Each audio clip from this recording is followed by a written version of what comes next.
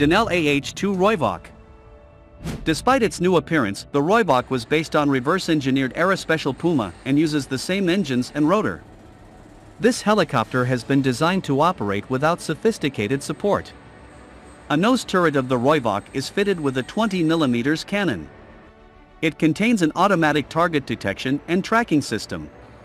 This attack helicopter can carry indigenous ZT-6 Mokopa anti-tank missiles, similar to US Hellfire.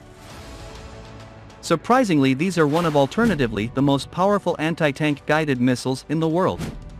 This South African gunship guided helicopter can carry up to 16 smaller TOW anti-tank guided missiles.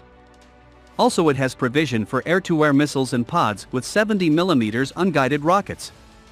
This gunship can be used in anti-armor, ground attack, armed reconnaissance, fire support, escort and deep penetration roles. A pair of external seats can be fitted to the Rooivalk, allowing it to pick up the crew of a downed helicopter.